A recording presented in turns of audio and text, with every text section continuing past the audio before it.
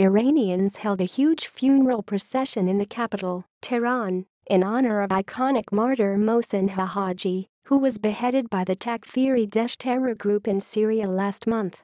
Hojaji was a member of the Iranian military advisory team, which assists the Syria army in its counter-terrorism operations against Takfiri terrorists.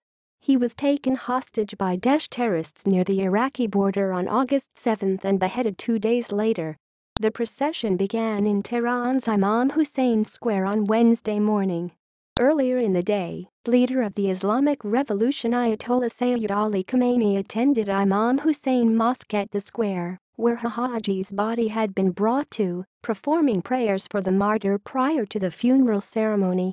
The leader also met with Hojaji's family, expressing gratitude for their steadfastness in their cause.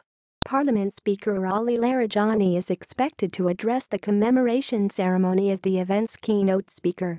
Also attending the procession will be Iranian military top brass from the army and the IRGC.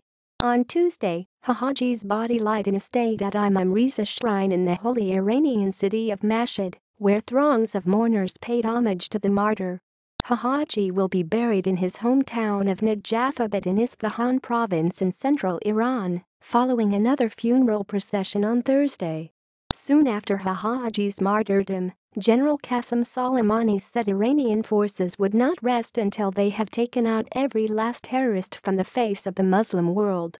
The general, who commands the Quds Force of Iran's Islamic Revolution Guards Corps, vowed on September 21 that the terror outfit would be uprooted in two months.